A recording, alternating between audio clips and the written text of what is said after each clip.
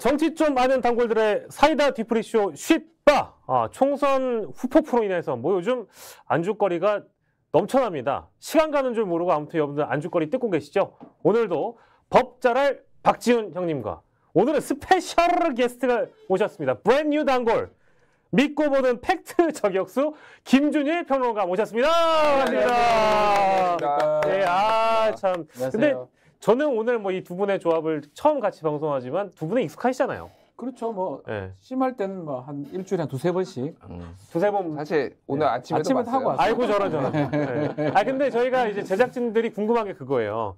어, 아마 이제 대충 이제 투표를 해보니까 어, 누가 더 형이냐, 누가 더 형이냐를 투표를 해봤더니 그 형이 바로 박지훈 형님이 형 아니겠느냐라는 투표가 다수결로 많았습니다. 음. 근데 좀 방송을 보셨던 분들이라면 누가 형인지 알 것 같은데 누가 형이신 거예요? 그 뭐 못이 주는디 뭐 이런 이런 느낌인데 제가 뭐 마- 나이는 한 살 많아요. 예. 한살 많으신 예, 거예요? 한 살 많아요. 아, 근데 네. 저기 이제 74년생들 제가 지난번에 얘기를 했지만 예, 예. 김용민, 예, 변희재, 예. 김준일, 음. 김용민, 변희재, 김준일, 강성범까지 강성범. 아, 근데 이게 네 명이 네명네다 명이 뭔가 잘 안 맞는 것안 같아. 좋아요 서로 서로. 이 조합이 안 맞는 것 같아. 김준일, 변희재, 강성범, 김용민. 일단 고발 취하하고 보자. 왜 고발을 하고 그래? 아 근데 김용민 이제 우리 형님 아 걱정 많이 해주고 계세요. 아, 가장 원래 원래 예. 별로 그렇게 좋은 관계는 아니거든요. 예, 예. 아. 고발 당하고 나서부터 그때부터 예. 같은 편이다 이제. 예. 음. 아니 지난주에 불과 김준일 그 우리 형님 이 고소를 많이 당하시고 고발을 많이 당하셨다 그래가지고 네.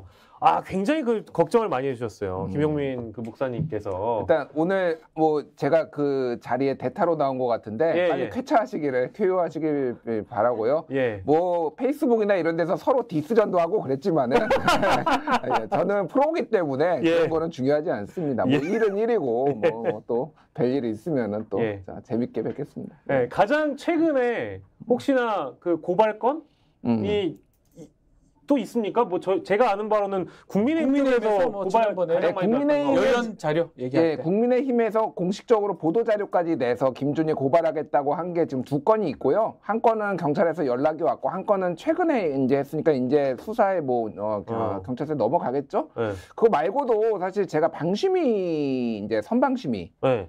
그러니까에서 저와 관련돼서 방송사가 징계를 받은 건이 일곱 건이 있더라고요. 아, 제가 아는 바로는 제가 얼마 전에 갔다 왔던 평화방송에서 그 네. 앵커가 저한테 그 얘기해줬고 평화방송은 창사 이래 처음으로 법정제재를 받았기 때문에.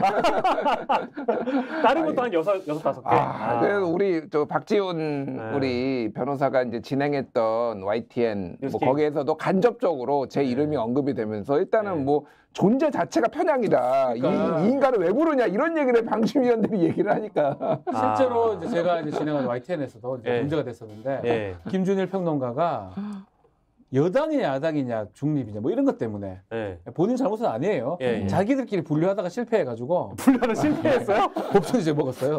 그래요? 예. 실패했어요? 예, 예. 아, 아, 근데 요즘 세상에 그게 뭐가 중요해? 그러니까요. 예. 의견 내는 거고 어떨 때 이럴 수 있고 저럴 수 있는 거 생각마다 다른 건데 예. 너무 그렇게 이렇게 개념화 지으려 하니까 그러니까 이제 여기도 비판하고 저기도 비판하고 이렇게 여러 이제 대상을 비판하는 게 사실 칭찬이기도 하잖아요. 음. 뭐 그래서 방송국 가시면은 실제 우리 김준일 형님한테는 성향이 어떤 성향이냐 이런 거 물어보는 사람들도 많지 않습니까? 아니 이래 이래 돼 있어요. 예. 민주당 가면 국민의힘이라고 그러고요.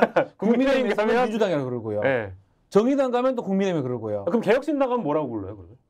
거기서는. 개혁신당에서는 네. 이준석을 망친 원흉으로 당사자 김준일을 꼽은 거예요. 아, 통합무새, 통합파, 통합, 이낙연하고 통합하라고 했다고. 그래서 네. 다 싫어합니다. 나를 좋아하는 사람이 단한 명도 없어. 아 개혁신당은 이제 개혁신당도 아무도 싫어해. 없으니까 아무튼 뭐 제가 이제 이름 별명을 공공의 적 김준일 네. 아, 이렇게. 붙여도 아, 좋다. 공공의 적. 아무 상관없는 공공의 적 김준일 너무 여러분들 오해하지 말아 주십시오. 모두 까기 인형 김준일 형님과 오늘 스페셜 게스트로 함께하도록 하겠습니다. 자, 근데 제가 이제 오늘 시작을 하면서 총선 후폭풍으로 인해서 안주거리가 넘쳐난다고 네. 말씀드렸는데 아우 저는 진짜 잠깐 낮잠 자고 일어났는데 요즘에는 따라가기가 힘들어요. 기사가 너무 많습니다. 너무 많기도 하고 많고. 아니 대통령 뭐 대국민 사과를 뭐 비공개에서 했네 마네부터 시작을 해가지고 요즘에는 뭐 인선 논란 어쩌고 해서 너무 많아요. 기사가 왜 이렇게 많냐면 예. 조심스러운 얘기긴 하지만 예. 통제력을 상실한 것 같아요. 누가 통제력을 상실했습니까? 뭐 이제 카운 이제 컨트롤 타워죠. 예를 대통령실? 대통령실이나 예. 통제가 된다 그러면 기사가 많을 수가 없거든요. 예. 결심했다는 기사, 예. 논의된다는 기사, 예. 어쩌고 기사, 어떤 얘기했다는 기사, 예. 모든 기사가 지금 뭐 무제한으로 나오고 있어요. 예. 대통령실 중심에 있는 예. 그렇게 나오는 이유 자체가 결국은 언론 통제가 지금 안 되고 있다. 예. 뭐 듣기로는 뭐 언론 할- 하는 게 홍보 수석이나 정무 이쪽인데 예. 홍보 정부 라인이 대부분 사표 냈다고 하거든요. 예. 없기 때문에 통제 안 되는 그런 것도 있는 것 같고 예. 어쨌든 무너진 상황 아닌가 생각이 듭니다. 그러니까 대통령 총선 이후에 대, 통령도 사실은 총선 패배 이후에 이 패배라는 인식을 하지 못한다 이런 말씀들 많이 하셨는데 그 원인을 공무원이라든지 대통령실은 홍보 라인이나 정무 라인에게 책임을 묻고 싶어 한다는 이런 얘기가 있었잖아요 실제로. 그렇죠. 예. 예. 그래서 갈리는 거겠죠 당연히. 그러니까 뭐 아, 누군가는 책임을 져야 되고 당연하죠. 근데 예. 책임을 져야 될 사람이 책임을 안 지고 엉뚱한데 지금 책임을 묻고 있으니 저는 그게 가장 큰 문제라고 봅니다. 뭐 예. 우리가 뒤에서 자세히 얘기를 하겠지만은 제가 이 지금 흘러가는 판을 보고 예. 여러 정보를 듣다 보니 아 심증이 확증으로 굳어졌어요. 심증이 확증이 돼. 예, 예. 어, 어떤 게일까? 대통령만 바꾸면 모든 일을 해결되겠다. 정말로 아, 어, 참모들은 죄가 없어 내가 보니까 아? 주 정상적인 그러니까 예를 들면은 뭐 이런 이런 뭐 이관섭 뭐 대통령 비서실장 뭐 네. 한호섭 한호섭 정무수석 정무수석. 뭐 이도훈 뭐 약간 논란도 있지만 이도훈 홍보수석 나름의 정무적인 판단이 정상적으로 되시는 분들이에요 내가 보기에는 아 이분들은. 홍보수석까지 나름의 정상적인 인물로 범죄에 들어가는. 음. 아니 비사 그 비공개 사과 4시간 뒤에 예, 이게 예. 난리 날 것 같으니까 자기가 와가지고 비공개 사과했다라고 마사지도 아. 했잖아요. 예, 그러니까 예. 최소한 판이 돌아가는 것까지는 이제 인식을 하는 분들이에요. 그러니까 최소한 아. 뭐가 됐든 예, 예. 그러니까 정상적인 사고의 범주 안에는 들어오시는 분들이에요. 제가 뭐 여기저기서 들은 얘기로는 예. 이분들이 총선 전에 막 들고 갔다라는 거예요. 관저까지. 뭐, 그쵸. 집까지 갔다. 집까지 가가지고 이제 야, 다, 다 나가 그래가지고 쫓겨나고 막 이런 이런 그러니까 나름의 충정이 있는 분들이야. 이분 이분 정상적 사고가 되는데 지금 예. 정상적 사고가 안 되는 사람이 몇? 명 있다. 몇 명. 아, 아니, 아까 형님 대통령이라고 하면서 또 있어요? 대통령 외에 몇 예. 명. 예, 나 고발당할 것 같아서 굉장히 위축돼 있어 지금. 대통령 과 대통령에 아주 가까운 한 분, 두 분 뭐 이렇겠죠 뭐. 참모들은 아마 계속적으로 보고를 하고 싶을 겁니다. 음. 보고가 안 되거나 보고를 받지 않으려고 하거나 예. 그리고 우리 보도 중에 대통령 뭐 했을 때 가장 많이 나오는 보도 중에 도- 두 단어가 있습니다. 뭐, 기억, 기억, 니은. 기억 니은?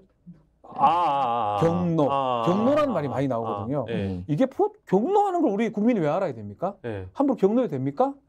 예. 안 되잖아요. 예. 근데 그게 반복되는 거 봤을 때는 실제로 대통령실에서는 그런 일들이 계속 있다는 거예요. 예. 그래서 결국은 언로가 막히는 것 같아요. 보도 보고를 못 하고 예. 지금 말했던 이관섭 실장이라든지 예, 예. 이런 사람들이 얘기를 지금 못 하는 상황 아니었나? 이게 실제로 강서구청장 선거 때 모의고사를 봤어요. 예. 성적표 받아봤어요. 아니, 예비고사 치르고 이번에 어, 본고사였잖아. 너희 너 대- 수능 너 대학 못 간다. 예. 했는데 공부를 하나도 안 한 거야. 예. 그래도 나 서울대 가는데요? 계속 그러는 거야.